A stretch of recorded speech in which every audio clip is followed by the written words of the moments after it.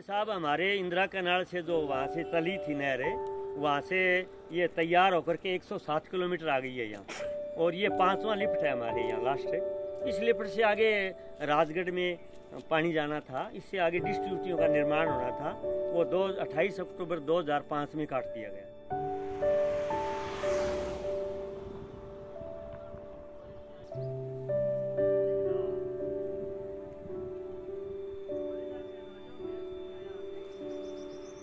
इस कुंभाराम कैनाल का index plan बना था। वहाँ उस वक्त हमारे यहाँ वो चंदनमल जी वैद थे, वहाँ यहाँ विधायक। तो उन्होंने इतना बड़ा इंडेक्स प्लान बना, प्लान बनाया कि हमारे अड़तीस गाँव तो राजगढ़ के हैं और उनचालीस गाँव सरदार सर के हैं और हमारा पूरा तारानगर ये विधानसभा क्षेत्र है। इसमें उन्होंने यहाँ इंडेक्स प्लान बनवाया और सभी जगह नाले खाड़े माइनर, डिस्ट्रीब्यूटियाँ, उनका पूरा प्लान बना हुआ है। हमारे यहाँ ये किसान मजदूर भवन है, उसमें वो लगा हुआ है हमने वो निकलवाया बीकानेर से। मेरा गाँव यहाँ से पंद्रह किलोमीटर है और मेरे गाँव से पाँच किलोमीटर पश्चिम साइड में डिस्ट्रीब्यूटी बननी थी, वो वहाँ बंद पड़ी है। इसलिए हमें इसकी परेशानियाँ और इसका खामियाजा भुगत रहे हैं।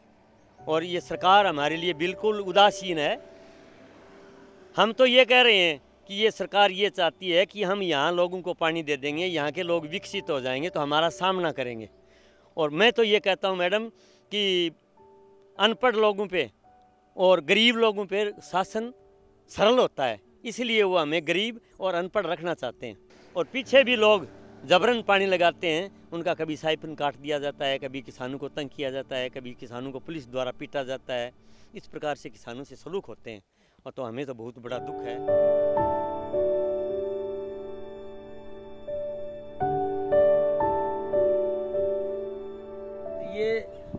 चौधरी कुंभाराम नहर की पाँच नंबर लिफ्ट है। पाँच नंबर लिफ्ट से पानी को पंपिंग करना था। पंपिंग कर कर पानी को इस स्थान पे डालना। यहाँ से दो बड़ी नहरें निकलनी थी। एक नहर का नाम था गाजवास महेंद्र जो गाजवास महेंद्र इस साइड से होकर 22 किलोमीटर माइनर था। इस नहर का सबसे बड़ा माइनर था, जिससे लगभग 6000 हेक्टर ज़मीन सिंचित होनी थी। एक इस नहर से निकलनी थी तारानगर डिस्ट्रीब्यूटरी जो इस नहर से जो मुख्य नहर है, इससे थोड़ी छोटी होती है। उस तारानगर डिस्ट्रीब्यूटरी से सैंतीस गाँव राजगढ़ तहसील के सिंचित होने थे और लगभग पंद्रह और बीस गाँव तारानगर तहसील के सिंचित होने से। और जो ये तारानगर डिस्ट्रीब्यूटरी है, उसका कुल रकबा बीस हज़ार हेक्टर ज़मीन में सिंचित होना था। और जो ये गाजवास महेंद्र था, उसका था पाँच हज़ार हेक्टर ज़मीन सिंचित होना था। लेकिन 2005 के अंदर, अक्टूबर 2005 के अंदर जो गढ़साना का आंदोलन चला गढ़साना आंदोलन का बहाना बनाकर तत्कालीन वसुंधरा सरकार ने हमारी इस पूरी नहर का, चौधरी कुंभाराम नहर का पूरा रकबा दो लाख चालीस हज़ार हेक्टर था। सरकार ने 28 अक्टूबर 2005 को दो लाख चालीस हज़ार से घटाकर एक लाख दो हज़ार हेक्टर कर दिया। मैं बताऊँ जो ये पाँच नंबर लिफ्ट तैयार हो गई थी उसके अंदर जापान से करोड़ों रुपयों की मशीनें थी। पूरी पूरी मशीनों को सरकार ने नीलाम कर दिया, कहीं बेच दिया, उसके बारे में मुझे मालूम नहीं, लेकिन उस मशीनों के अब यहाँ पर नहीं, हम जो लोग यहाँ पर गए, यहाँ पर कोई मशीन नहीं। अब अब जहाँ पर भी ये पानी लगता है, वहाँ पर बहुत बड़ा उत्पादन हो रहा है।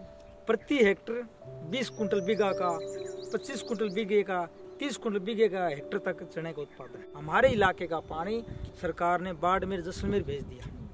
बाड़मेर और जैसलमेर इसलिए भेज दिया क्योंकि वहाँ पर बहुत बड़ा क्षेत्र सरकारी ज़मीन का है। वो बिल्कुल बंजर भूमि है। वहाँ पर जितनी भी ज़मीनें हैं, वो भी बड़े नेताओं की, बड़े अफसरों की नेताओं, लोगों की ज़मीन है, ताकि वहाँ पर पानी पानी मिले और ज़मीन के कुछ भाव बढ़ जाए।